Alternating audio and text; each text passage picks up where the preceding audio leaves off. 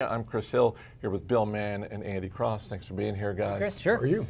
The volatility continues. We're going to be taking your questions about stocks, about investing in this volatile market. And if you're just getting started investing, we want to help you out. We have a free investing starter kit. It's a great 15 page report, walks you through how to get started investing, and it includes five stocks from our investing team. And it's free. You can find it at fool.com slash start check that out when you get a chance. Uh, Bill Mann, let me start with you. Uh, what do you see when you look out at the market? I mean, yesterday we had the 2,000 point Dow Jones drop, making all the headlines. Yeah. Market bouncing back today. Are we sure? Is it? Uh, You know, check back with me in 20 minutes. But as of this moment in time, the market is bouncing back. What goes through your mind on a day like today? Well, what you see on a day like today, when you have a pretty sharp snapback, if it holds, is you know there's that old adage about you know if you miss the the best 20 days of the the stock market, that your your returns will dramatically under underperform over time. Well, usually those best days come in the middle of downdrafts, and this may you know last Monday was one of those days, and this may be another one. Yeah, they come right around the worst days, come also the best days, as Bill said, very apropos. I think a snapback, and we're seeing that a little bit today. Some news this morning uh, kind of started us off with perhaps some help on the fiscal side. We saw we've seen a lot of help on the monetary side, well, a lot, and we likely will see more. But now we might see some from the from the government uh, in D.C. acting to um, help consumers, which is a good sign. Yeah. Uh, we also saw uh, a lot of the major airline carriers come out um, with reports of, uh, in some cases, uh, pulling back on their capacity, um, canceling some routes as far as into the summer. Uh, we also saw some airline CEOs saying, I'm going to take a pay cut. Um, how bad is this? Because I think at this point, if you're an investor, you've been paying attention in the market, you're used to um, announcements from a timing basis being pushed maybe two months out. Yeah. Um, major tech company cancels their conference, which was scheduled for May. This is airlines saying we're looking into July and August, and we're pu- we're pulling back. We can't see anything. Yeah, I mean, if you think about where the airlines are now versus where they were 10 years ago, uh, the last time you know they went through a real crisis during the financial crisis when almost all of them, I believe, except for Delta and Southwest, ended up in bankruptcy.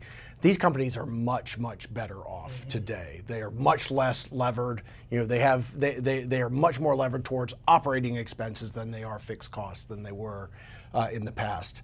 There may be actually some things that they will benefit from. For example, uh, airlines airlines buy billions of gallons of jet fuel and they buy it in forwards, right? So I would imagine that we're setting up for a pretty good 2021, 2022 for the airlines. Yeah, it's it's just more evidence that um, corporations, and we haven't seen the end of it. I mean, th- this we're, we're still in a in, in a in a, a medical situation, in a health situation that is really uncertain. So we see a lot. We saw what happened around New Rochelle in New York with what Mayor uh, Governor Cuomo decided to do, and basically bring the National Guard to really kind of like help focus um, some quarantine efforts there for the for what we've seen up in New York. So we're, we'll see more of those, and and I think They're scary. I well, mean, they're scary, and you yeah. want, as we talked about, Chris, yesterday. You want you want leaders who are transparent and as open as they can be, and and certainly travel. We've seen that what's happened on the cruise lines as well too. I mean, bookings are down 30, 40 percent on the cruise line just over the course of a week at some of the cruise ships. So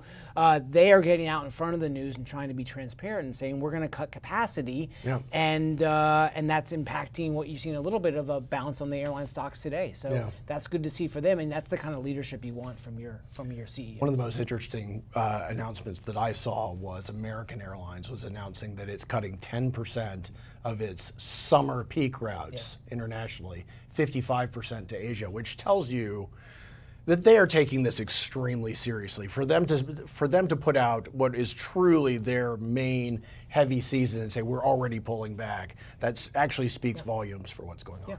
Uh, we'll get into some more company and industry news in a minute, but I wanted to uh, just ask you a couple of questions as investors, as experienced investors. Yes, I'm saying you're old.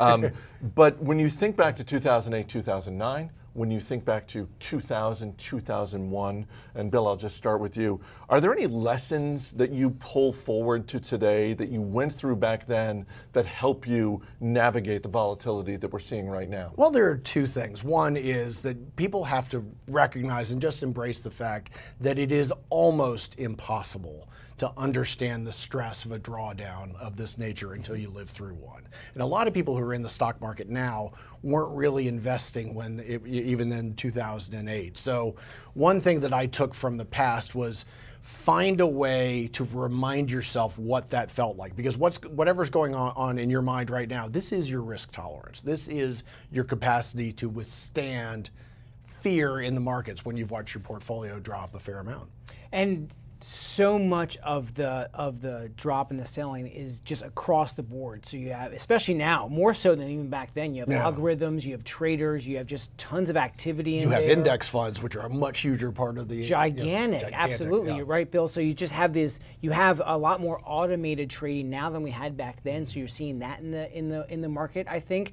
Um, but you're seeing just it doesn't it doesn't matter what you own. It almost is, is all down, maybe with exception of Zoom. So like you have you have this like broad selling and people just kind of throwing out the baby with the bathwater. Yeah. So as we saw from 2008, 2009, 2009, which by the way we celebrated the anniversary of yesterday. The, yesterday the, the of the basically the bottom of the market during that crisis, and then stocks rebounded dramatically up two, three, four times in value. So um, at some point this will pass, as Chris, you and I talked about yesterday, and you want to be in the market unfortunately, what we saw, so many individual investors who got out of the market in 2008, 2009 never actually went back in. So they yeah. lost just all this monumental gains we saw during that yeah. from that time. What do you think? Did March 9th, 2009 or March 9th, 2020 feel worse?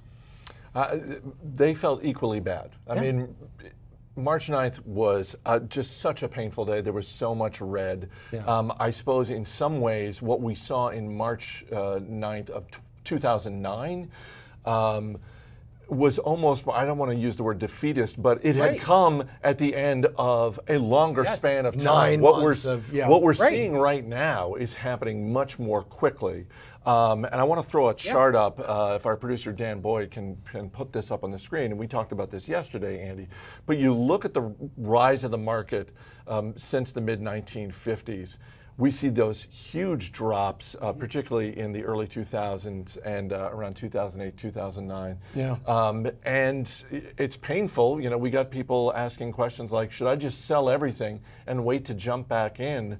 Um, but it's so hard to know when to time the well, bottom that wait, you almost shouldn't even try. Yeah. Wait for what?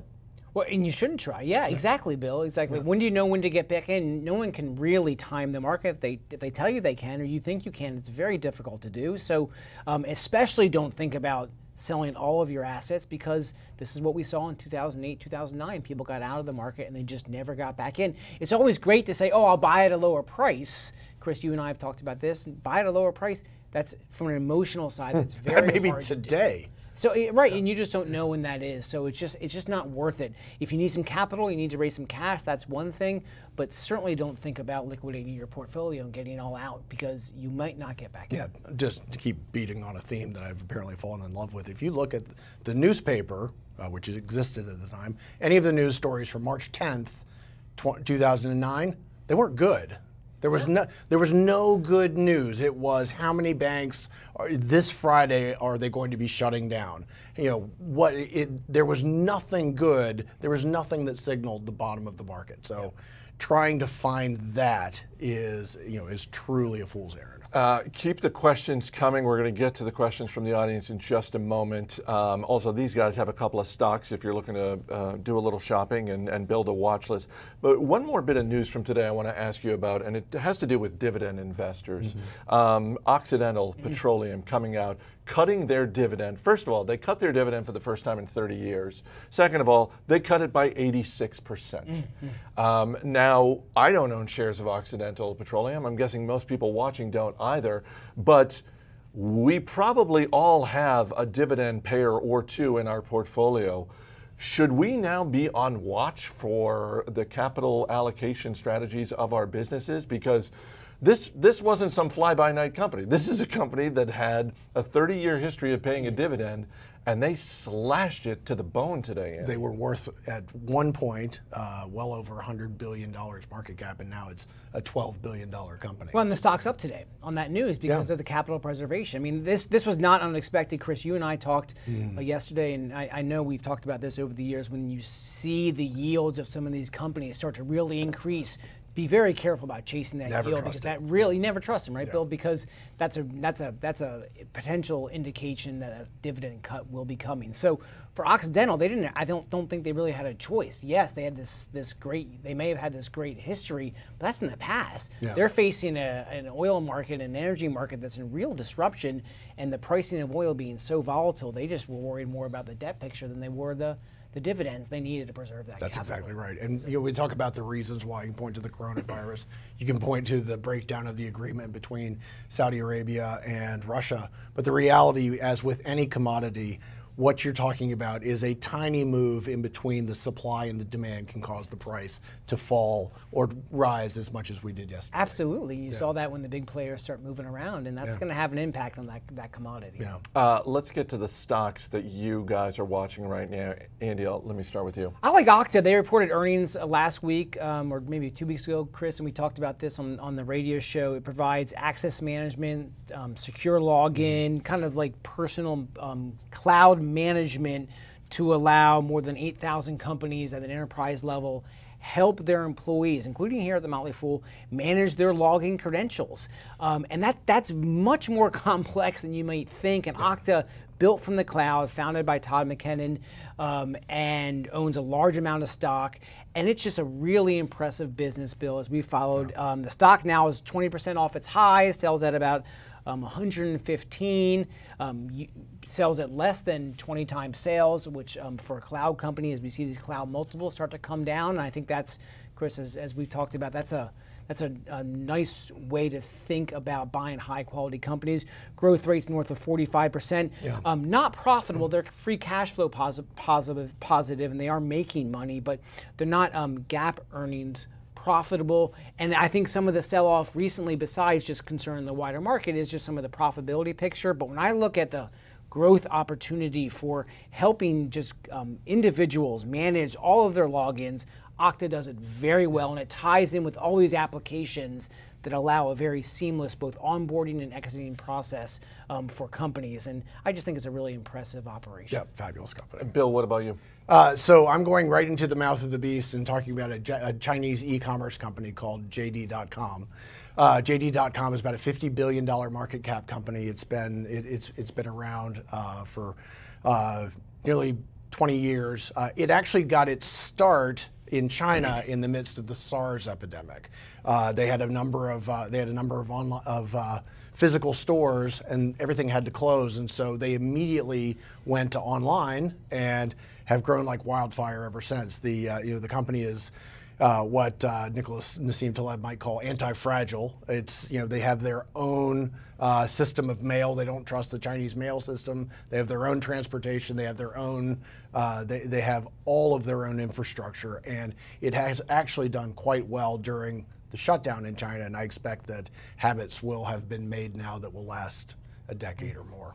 Um, we're going to get to your questions in just a second. Again, check out that free report. You can go to fool.com/start an investing starter kit to really get you off and running, and it comes with five more stocks from our investing team. And as always, if you're enjoying the video, please consider giving us a thumbs up. It helps other people find the video, and we like doing these videos.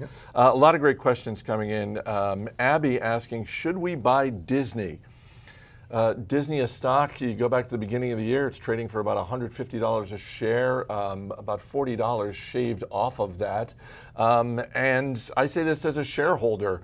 Um, I, I, understand the drop in the stock. Um, yep. As great as Disney Plus is, when you look at the parks being closed in China, um, the possibility of parks being closed in the U.S., um, uh, that's a big part of the business. The problem with Disney, the answer is yes, Disney is quite cheap. But the, the big issue with Disney is that, unlike a, lo- a lot of other expenditures, when you're talking about travel, canceled travel usually isn't deferred, it's just canceled. So they are going to forego a fair amount of, of revenues, although my understanding uh, was that the park in, the parks in Florida were absolutely full yesterday. So maybe not so much here in the U.S., but uh, the parks are still 30% of the cash flows for the company. So I do expect that there will be an impact there, but it you know you tell me what uh, the competitors to Disney are because I don't I mm-hmm. just don't know anymore what they would be.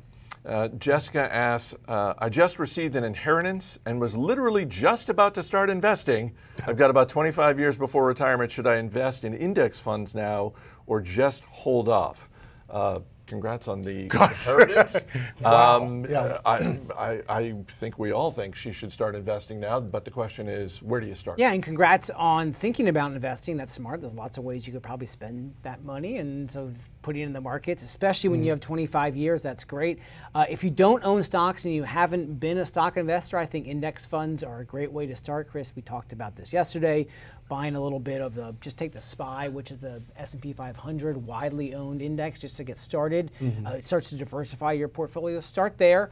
Um, sign up for um, a stock advisor, one of our services, and start thinking about buying stocks. But I think starting with the index is a great spot to go. Don't worry. Again, same advice. Don't worry about timing the market, getting in. Don't feel you have to but put it all. But you've done it. I mean, that's. well, don't feel you have to put it all in today yeah, or tomorrow. No, for sure. Just um, yeah. especially if you're just starting out, just nibble a little bit, put a little bit here, set up a schedule, set up a process, and yeah. stick to it. One thing I would say, and, and we talked about this back in January, is that even though the U.S. stock market has come down nearly 20%, at the, at the time before it started dropping, it was at historic highs if you're measuring yeah. the S&P 500. One thing that I might recommend is mixing up uh, a mid-cap index fund. Uh, you know, there's an ETF, the ticker is MDY, which tracks some U.S. mid-caps, which were a little less pricey at the beginning and are much less pricey today. So that's that's a good way to diversify as well. Yeah. Uh, Casper is asking, what are the biggest companies not directly in the path of the corona tornado uh, that could fall before this is over? And he gives us an example, Microsoft. Um, I like this question because it acknowledges something which we all know to be true, which is that anytime we see steep drops like this, there are really good businesses that are not nearly affected mm-hmm. in the mm-hmm. way that, say, cruise lines or airlines would be mm-hmm. affected, and yet they get sold off maybe to a larger degree than they should. Tell me what Netflix's exposure is at the moment, you know, just for example. Yeah, I think that's um, all companies are going to get any large company in some way is probably going to get hit and somehow be affected by this because it's so widespread. And again, it's a medical and a health, not necessarily right now. It's not a financial, although it is and mm-hmm. will become more acute on the economic side. So, um, but I think owning some going in stocks that are down, Disney, Microsoft, Amazon, Apple, these are all pulled back. Mm-hmm. If you're looking for a little bit more stability, uh, the multiples are a little bit more reasonable than they were. I mean, Apple, um, the multiple had really expanded pretty dramatically over the last year and a half, two years. Before you could buy buy it at 12, 13 times, and then it got up to the mid 20s. So as those multiples pull back, feel free. I, I think that's a good way to think about investing. Yeah. But don't kid yourself. These companies, I mean, the the Everything. COVID and coronavirus, that that I think he said hurricane or maybe tornado, tornado. is pretty wide and it's going to hit a lot of the companies. Yeah. Some companies that may benefit uh, actually are ones, you know, like Square, which is pushing uh, contactless transactions. Mm-hmm. think about think about some of the ways that you might, you know, you you might limit your own exposure, not necessarily to the virus, but to humanity, you know, and, and so I think that there are actually some companies that that actually may benefit from a change, you know, from a permanent change in behavior. Yeah, a lot of the collaboration tools, Bill, we were talking yeah. about Atlassian yeah. early on, which offers Trello and and these are getting sold off, right? These yeah. are getting. I mean, if they are getting sold off, Zoom obviously is a is is a clear example, mm-hmm. which provides the video conferencing software that, that works so well. Um, but there are a lot of companies that that will probably find as we continue to change the way that we work and we and, and we interact um, in the in the face of this coronavirus, um, that might last, but there might be ongoing changes for that bill, as you were saying, like Atlassian could be one as For well. sure. Well, you mentioned Square. It's a nice reminder that both Apple and Google have their own payment systems. Yeah. So, you know, one more reason to like Apple and Google Apple Pay, Google Pay. That's right. Uh, Paul asks, how do you anticipate low mortgage rates affecting companies like Zillow and Redfin? Nice reminder that the 10-year Treasury is um, just Start- barely above the floor. Yeah. Well, they're all below one. Now, for the first time, the yield curve, curve all dropped below 1%. That's incredible. Incredible. 30 years below that. It just shows, below one. especially the 10 year, just shows how afraid people. Yeah, there, there's just a lot of fear out there because there's so much money going into into um, the, the treasury market. Yeah, you know, it's it's it's interesting. If we had been in an environment where any time over the last ten years, rates had been high, I would say yes. Obviously, this is going to bring about a whole lot more activity. The reality is that even in the last two years, rates have been at, at, at lows that would have seemed impossible even 10 years before. So uh, it'll it'll spur some activity and might be beneficial for for Redfin and Zillow, but I don't know that that's that's really an expectation to have. We'll see it. uh, We've already seen it on the refi market a little bit. Refis Yeah, it's- definitely, it's- it's definitely, definitely- hit their highs, Yeah. right? But it is interesting, like in the face of um, big challenges, consumers tend not to make big purchases, and a house is a is a big purchase. So I, I will be very interested to see. We are now coming into the prime selling season, are starting to ramp up there, and it'll be interesting to see how it impacts the real estate market on the consumer side. It will be interesting to watch, particularly as you know, as you said, we're coming into the prime selling season for homes, and at a time when mortgage rates are looking really, really attractive. Yeah, they are, and and it'll. What I'm really fascinated in is to see how low the mortgage rates. As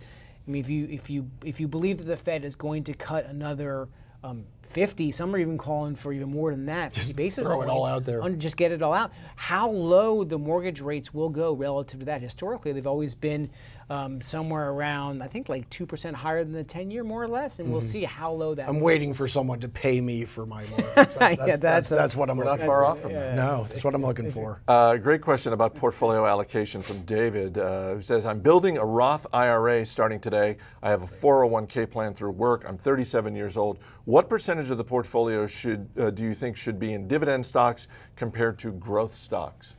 Someone in his late 30s. Um, love that he's thinking this way in terms of portfolio allocation. A lot of times people think just in terms of industry diversification as opposed to dividend payers versus growth. and it's all retirement money. Is that, that's that's what does that for, for Roth IRA. Yeah, I, I mean, I'll just just to toss out a number, I'll say 75% growth, 25% dividend. I mean, there are a lot of great dividend growth kind of companies. They don't yield very much. I mean, Mastercard, MarketAxess, one that I like. Apple? I own, I own both Apple, those yeah. stocks. Apple. Yeah. Uh, so there there is dividend growth. They tend not to yield a lot, Bill, but they but you can get that growth versus a company maybe like like Okta or JD or someone like that that you know is the 30 Shopify, 30, 40% kind of grower. Uh, but I think you, he has years ahead if he can stomach the volatility, even in his retirement accounts that come with some of the growthier. I think the growth side is probably the way to go. Yeah, I think that that's probably the case. I mean, you know, the, re- the reality with dividend companies, by and large, is that they are more slow growers, and you know they're stable.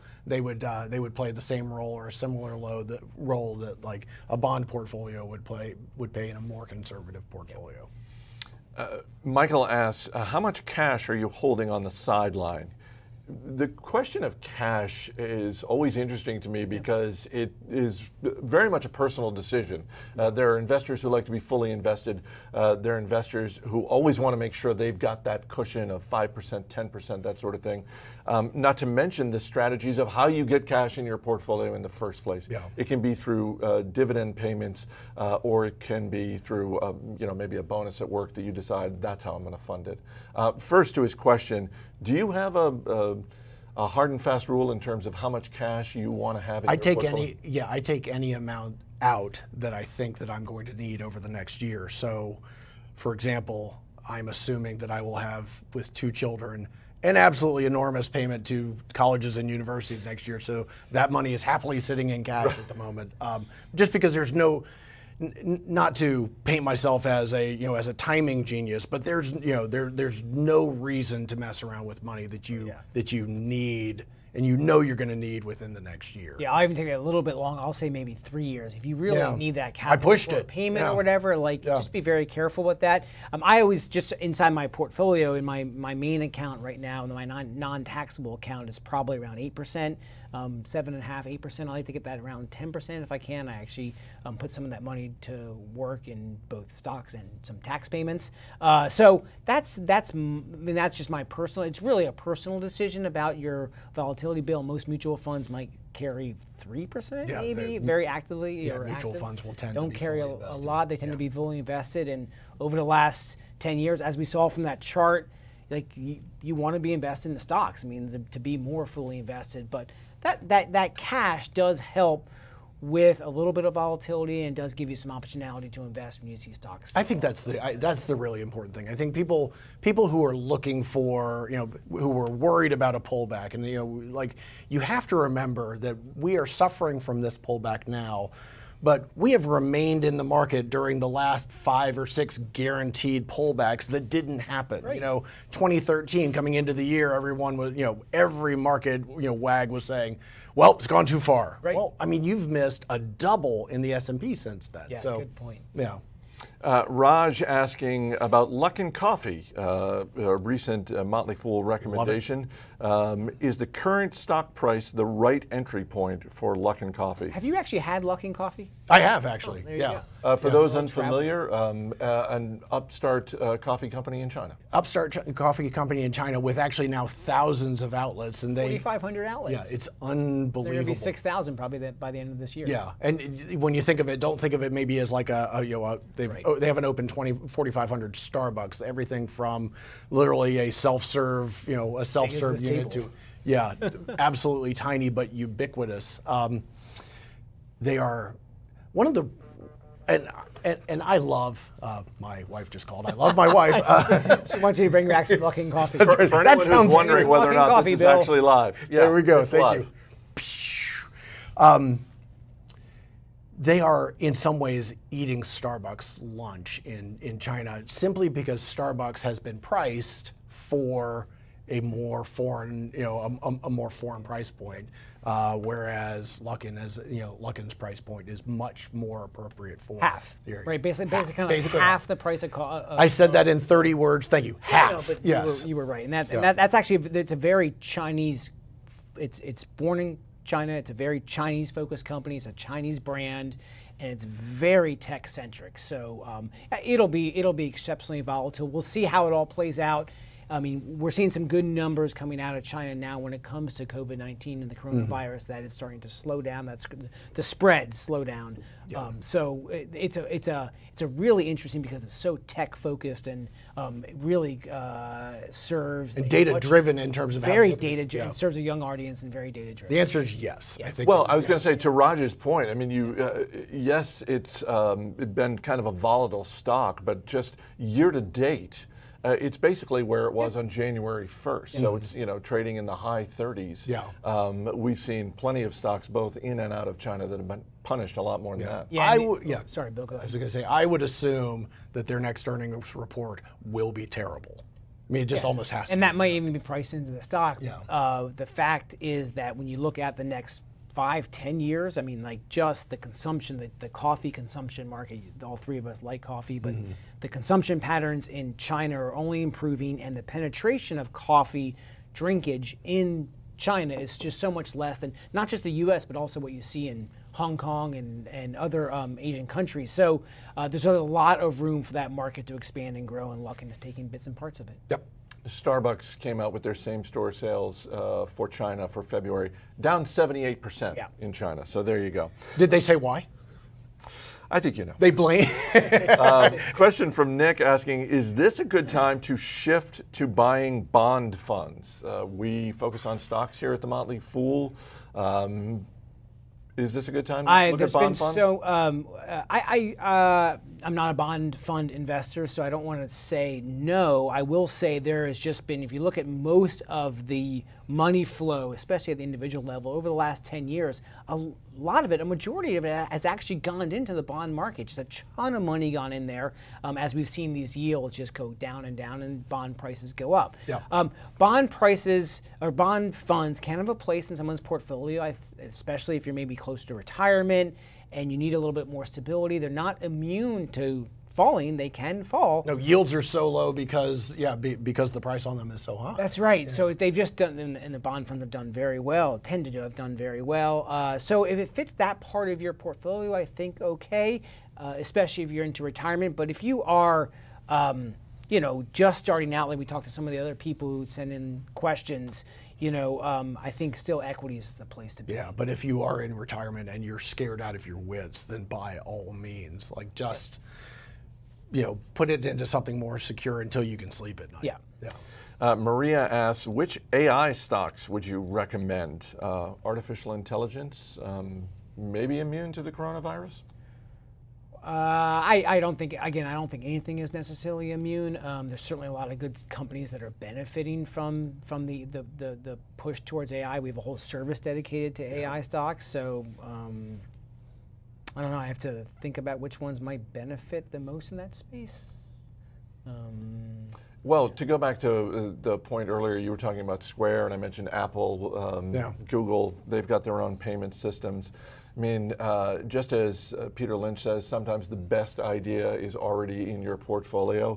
I mean, that's one of the advantages of businesses like Apple and Alphabet, right? Like they've already got, in part because of their enormous cash hoards, yeah. they've got the ability to make the investments into AI. Well, yeah, and it's a, uh, uh, um, a company that I've just always respected that is actually pretty volatile and has certainly had its ups and downs, and I think long term will continue to do very well is NVIDIA with its chips and where they're focused, especially as you think about how we are all using technology and yeah. how we will use technology. Um, and the stock got, when they came out, um, the stock did very well around the cryptocurrency that's right. mining. And when yeah. that fell off, the stock just got clobbered. So that's when I think when it comes to um, buying on a pullback um, when you're thinking about the long-term investment possibilities that's very attractive and i think that that's i mean in, you know to your point that's probably one that most people who are interested in ai a lot of people already own yeah that's probably uh, true yeah. yeah. and then of course like you said microsoft um, uh, alphabet google are going to continue to benefit from that yeah. work as well too um, question from Sweta, who asks any suggestions for etfs exchange traded funds um, probably safe to say we like those, uh, or we're bigger fans of those than we are necessarily of bond funds. Yeah, we talked about two earlier. We talked about the spies, and we also talked about the mid cap. Uh, the mid cap ETF, which is uh, ticker MDY, mm-hmm. and that gets you an exposure to the U.S. market in a way that's uh, that's a little in a part of the market that hasn't gone as well over the last five years as you know the S&P 500. Uh, there's a, there's an absolutely uh, a, a, great uh, international fund uh, called uh, the ticker is WRLD, which tracks the MSC MSCI Global that's good as well. I think ETFs can be a great investment to help you get started and diversify a little bit. A lot of us use that at various times um, and for for different reasons. So again, if you're just starting out, ETFs can be a great investment as long as you just um, understand what you are buying. Because that's the real trick with some of the ETFs, especially as you get more niche. Yeah. You might think you are buying. Um, a, a, country fund or this kind of specific industry, and actually, when you look underneath the holdings, you're not actually getting what you yeah, think that's you exactly are. So right. that's but with the SPY, you don't worry about that, and some of the larger ETFs. Uh, Dan asking, should I wait for Boeing to drop under $200 a share to invest? For context, Boeing one year ago was trading at $400 a share. Mm-hmm. The 737 MAX uh, problem has dragged on. Um, if they have a solution to it, they haven't revealed it yet. Uh, today, trading at $223 a share, so it doesn't have a lot further. But I think back to the comment uh, that each of you have made about trying to time the bottom. Uh, You're talking about 10%. Right. Yeah. No. No, don't wait. Uh, I mean, if you if you believe that there's a reason, and once again, Boeing's next earnings announcement is going to be awful, right? But it's not. It's probably not something that's going to surprise people. I don't see any reason if it's a company that you want to own for the long term, why you would not put at least half of what you eventually would like to own today in, into it at this price. Say what you want about Boeing, it is part of a duopoly. Yeah, yeah. Yeah, and unlike cruise ships, I mean, there's some talk today about about uh, you know the federal government providing relief to the airlines. This is an industry that is entirely necessary, so it is going to be supported, and that will help. You're saying the cruise industry is not necessary? I, I was hoping you wouldn't come back with yeah. The also thing about Boeing is it's probably selling at a three-year low at this point right now, yeah. and they're certainly hit by what's happened with um, with internally with their challenges, but also with the coronavirus. So um, it's also fairly diversified into other parts of the business mm-hmm. and serving lots of different clients, including the U.S. government. So um, I agree with Bill. Like I don't think you have to wait for that one. I wouldn't. Uh, Laura asks, would you recommend buying more of Shopify now? Which would seem to indicate that Laura owns Shopify Love that. already. Yeah, as do I. Um, Shopify has gone from being fantastically expensive. I think the high, I'm going to call it without looking, was something like 52 times sales. Yeah, that's probably true. Yeah, maybe even is, higher than that which is remarkable for any company, much less one that was at $60 billion in market cap. Uh, it's now substantially lower. It's lower by about 25%, yeah. Which means that it is simply expensive. Um, but it's but worth it. I mean, like that. That is a business it, yeah. that is that is has justified. It's earned the multiple. Um, yeah. You know, again, it could go down to 350 i mean there's no like there's no it doesn't automatically always have to go up and just because yeah. you buy it doesn't mean that it's going to go up so i think but that that's a business that you want to just be able to buy a little bit add more um, and just own for the long yeah term. you that's just really have to yeah you just have to know that even at current valuation, the market is expecting an awful lot yeah, of, of, that's right. of Shopify. That's right. But what, what's Warren Buffett's line? You know, we like to buy great companies at a good price. Like, you know, it, yeah. rare is the occasion you're going to buy a great company at an incredibly cheap price. Right. Well, yeah. yeah. Um, Penny asks, what about buying shares of Teladoc or other virtual healthcare companies? Uh, I think, Andy, yesterday, one of the things we talked about was United Healthcare. Mm-hmm. Um, Teladoc, uh, great telemedicine business. United Healthcare, a giant in the industry. Uh, they've got their own telemedicine solution as well. Yeah, and telemedicine is, again, when you just get when you get past the coronavirus and the condition we have right now, you just look at how we are going to evolve in with medicine and mm-hmm. with doctor visits, and, and, telemedicine is going to be a big driver of that. So, uh, Teladoc has obviously gotten a lot of support in the stock market because of of the fears over the coronavirus. Mm-hmm. So there might be a. I would not. I would not be surprised at all to see that one um, at various times just show that more of the downside volatility than it has uh, recently just because of the coronavirus. But again, long term, we were supporters of that um, before the coronavirus, and we yeah. still are. Teladoc and uh, in the education sector, Grand Canyon Education, I think, are two very interesting potential companies to benefit long term from the changes in behavior that are going to come from yeah. this.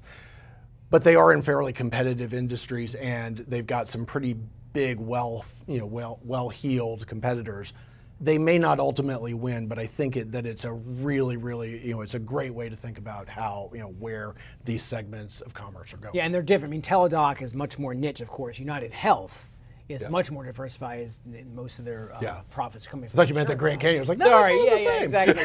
no, sorry, a little misplaced modifier there. So those to, to, get to the specific question, as we were talking about United Health, um, large cap, much more stable, but has a, a lot of um, potential to be in the political crosshairs this year.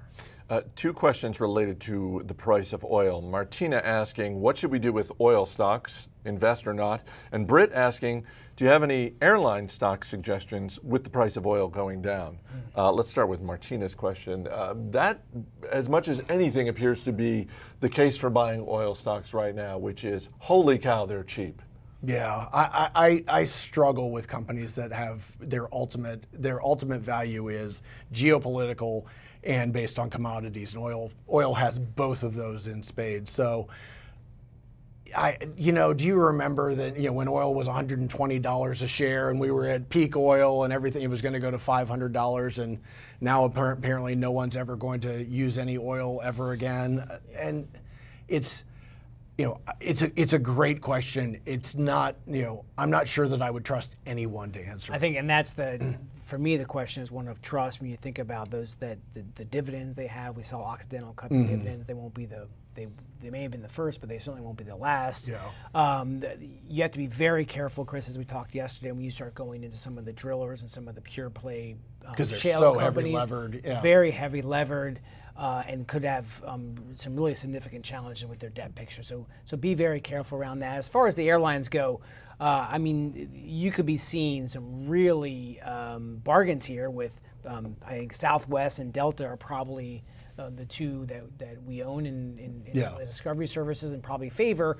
Uh, but there's just going to be a lot of disruption, as we talked about, in the next few months. So I wouldn't be surprised if we haven't seen the lows there. Yeah, I think that that's probably true, but also they do, uh, all of the airlines, I believe all of them, uh, buy their jet fuel using forwards, and. I can imagine that yeah. they are all very, very active yeah. right now. Yeah, I wonder, it'll be very interesting to see, we talked about this on another channel, what we talked about uh, Warren Buffett over at Berkshire Hathaway just talking about stocks are too expensive, can't buy, mm-hmm. can't buy anything, and now um, 120 billion dollars sitting on the sideline. And, we'll just yeah. see what he. I mean, he wants to make these big investments. You have companies mm-hmm. like Southwest, Moody's, which they they own um, significant shares of, and whether um, they not just buying the shares, but maybe taking outright um, bid for the company. Yeah, yeah. For all the talk we've been doing about uh, cash on the sidelines, uh, nice reminder that Warren Buffett really has the most cash on well, the sidelines. not just on the sidelines, and, and that he is publicly looking to deploy it. And yeah. they just generate a lot of cash from their operating businesses yeah. that go right into their pockets. But then also they have the float from the insurance business as well too. So they have lots of levers to be able to invest, which is why on Fool.com we published an article. Uh, I think it was Matt Frankel published an article that Berkshire's in a pretty good position mm-hmm. here. Mm-hmm. It's it's not been a great, uh, and I own Berkshire. It's one of my As larger positions, yeah. but it's you know it's the stock has not done super well over the past couple years. It's just been a little bit more of a laggard. But this is the kind of market yeah. where where um, they, he really shines. Some very smart oil investors. I, I, feel like we gave that answer a little bit of a short shrift. Uh, some very smart oil investors that I know of have said that they don't expect all of the companies to survive, that there's going to yeah. be some real pain and that will cause additional problems to ripple through, but that the oil patch is almost unbelievably cheap right now. By so. the way, market's up 4% right now. So we should keep we talking. Go. We should keep talking. We're doing doing. And okay. Boeing's gone up since we talked about it too. uh, is, we are magic. Yeah, You're welcome, America. That's right. We're going to stay here until everything's. um, and yet, I was just about to say, final question before we wrap up. Um, we can't leave. Matt asking, uh, what are your thoughts on Twilio? Oh, I own Twilio. I still like it. The stock's kind of struggled here a little bit as they kind For of. For those unfamiliar with the business, uh, it does. It uh, sounds made up. I'll be honest. It, it sounds made up. Um, it does like um, in-app communication, so mm-hmm. it's really tied to helping. Um, so, for example, Netflix. Um, when you get or communications, Uber, or yeah. Uber, when you get communications through your phone through an app, they really specialize in that. They made a, a large acquisition of SendGrid for three or four billion dollars, which brings email into their mm-hmm. into their uh, portfolio. So they're trying di- digesting that. And stocks kind of struggled here a little bit. More, uh, multiples gotten a little bit um, more accessible um, and, and, a little bit more reasonable. So I still own Twilio and I still believe in it.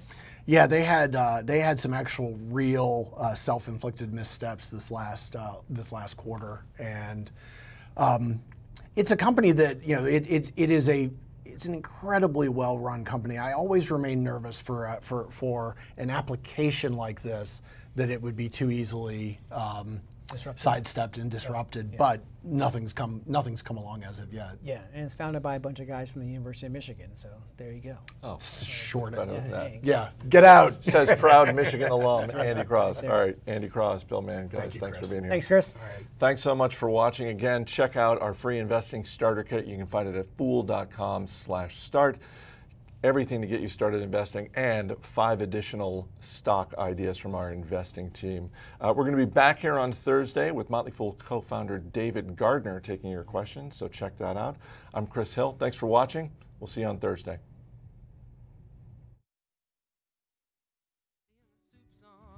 For my supper and get my groove on. I still know how to have fun. I need checks. I need balances, life's a mess. with financial challenges, checks and balances. When things get tough, do you do it for money or do you do it for love?